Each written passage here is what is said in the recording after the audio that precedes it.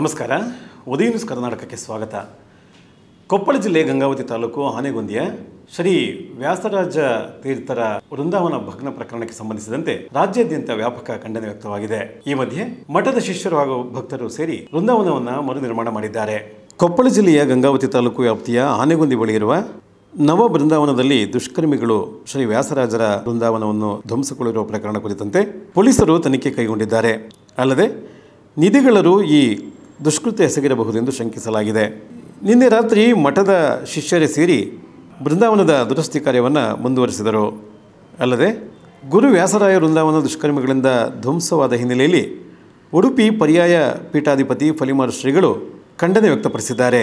ಇಂತಹ ಕಿಡಿಗೇಡುಗಳನ್ನು ಶಿಕ್ಷಿಸಬೇಕೆಂದು ಹೇಳಿದ್ದಾರೆ. ಶ್ರೀ ವ್ಯಾಸರಾಜ ತೀರ್ಥರ ಈ ವೃಂದಾವನಕ್ಕೆ ನಡೆದಿರತಕ್ಕಂತಹ ಆಘಾತ ಇದೀ ಆಸ್ತಿಕ ಸಮಾಜಕ್ಕೆ ಅಲ್ಲ ಇಡೀ ದೇಶಕ್ಕೆ ಒಂದು ರೀತಿಯಾದಂತಹ ಸವಾಲಾಗಿದೆ.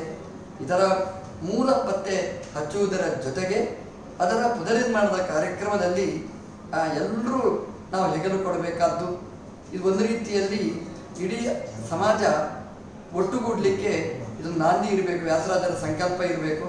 ಏನೇ ಇರಲಿ, ನಾವೆಲ್ಲ ನಮ್ಮದೇ ಸಂಸ್ಥೆ ಅನ್ನುವ ದೃಷ್ಟಿಯಲ್ಲಿ ನಾವೆಲ್ಲ ತಲೆಗೊಟ್ಟು ಇದಕ್ಕೆ ತಮ್ಮನ್ನು ಅರ್ಪಿಸಿಕೊಡಬೇಕಾಗಿರ್ತಕ್ಕಂತಹದ್ದು, ಆದಷ್ಟು ಬೇಗ ಇದರಲ್ಲಿ ಅನ್ಯಾಯ ಮಾಡಿರ್ತಕ್ಕಂತಹ ಪಾಪಿಗಳನ್ನು ಸರಿಯಾಗಿ ಗುರುತಿಸಿಕೊಡಬೇಕಾದ್ದು, ಅದಕ್ಕೆ ಸರಿಯಾಗಿರ್ತಕ್ಕಂತಹ ಶಿಕ್ಷೆ ಆಗಬೇಕು. ಅದರ ಜೊತೆಗೆ ಮಾತ್ರ ಪುನರ್ನಿರ್ಮಾಣ ಕಾರ್ಯ ಬಹಳ ಸುಂದರವಾಗಿ ನಡೆಯಬೇಕಾದ್ದು. ಇದೇ ವೇಳೆ ಮೈಸೂರು ವ್ಯಾಸರಾಜ ಮಠದ ಗುರುಗಳಾದ ಶ್ರೀ ವಿದ್ಯಾ ಶ್ರೀಶಾತೀರ್ಥರು ಆಗಮಿಸಿ ಘಟನೆ ಕುರಿತು ತೀವ್ರ ಕಳವಳ ವ್ಯಕ್ತಪಡಿಸಿದರು. ಅಂತೆಯೇ ವೃಂದಾವನದ ಮರು ನಿರ್ಮಾಣ ಈಗಿನಿಂದಲೇ ಕಾರ್ಯಗತವಾಗಲಿದೆ. ಇನ್ಮುಂದೆ ಈ ರೀತಿ ಅವಘಡ ಸಂಭವಿಸದಂತೆ ಸೂಕ್ತ ಭದ್ರತೆಯನ್ನು ಒದಗಿಸಬೇಕೆಂದು ಕೇಳಿಕೊಂಡರು. ಅದು ಎಲ್ಲ ಜನರಲ್ಲೂ ಕೂಡ ನಾವು ಒಂದು ಮನವಿ ಮಾಡಿಕೊಡೋದೇನು ಅಂತಂದರೆ, ಈ ಸ್ಥಳದ ಪಾವಿತ್ರ್ಯವನ್ನು ರಕ್ಷಿಸೋದು ಯಾವುದೇ ಕೆಲವು ಅಂಗಡಕ್ಕೆ ಮಾತ್ರ ಅಲ್ಲ, ಇಡೀ ಜನತೆಗೆ ಸಂಬಂಧಪಟ್ಟದ್ದು ಅದನ್ನು ಆ ರೀತಿ ರಕ್ಷಣೆ ಆಗಬೇಕು. ಇಲ್ಲಿ ಯಾವ ಸಂಪ್ರದಾಯ ಕಟ್ಟಡಗಳಿದೆ, ಅದಕ್ಕೆ ಧಕ್ಕೆ ಬರದಂತೆ ಅದು ನಡೆಯಬೇಕು, ಅದಕ್ಕೆ ಎಲ್ಲರ ಸಹಕಾರ ಬೇಕು. ಸರ್ಕಾರವೂ ಕೂಡ ಈ ದಿಶೆಯಲ್ಲಿ ಈಗ ಈ ಸ್ಥಳದ ಒಂದು ರಕ್ಷಣೆಗೆ ಏನು ಕಾರ್ಯ ತಗೊಳ್ಬೇಕಾಗಿದೆ ಎಂದು ಮಾಡಬೇಕು.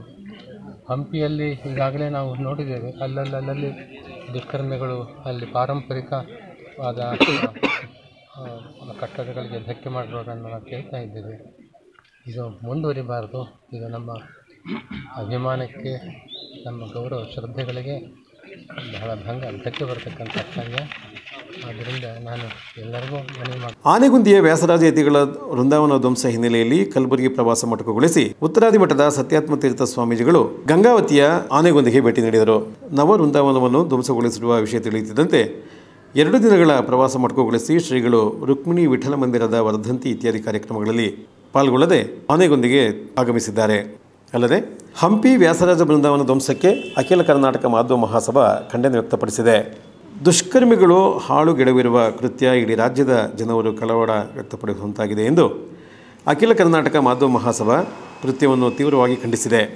ಈ ಕೃತ್ಯದ ಹಿಂದಿನ ತಪ್ಪಿತಸ್ಥರನ್ನು ಕೂಡಲೇ ಶಿಕ್ಷಿಸಬೇಕೆಂದು ಆಗ್ರಹಿಸಿದೆ.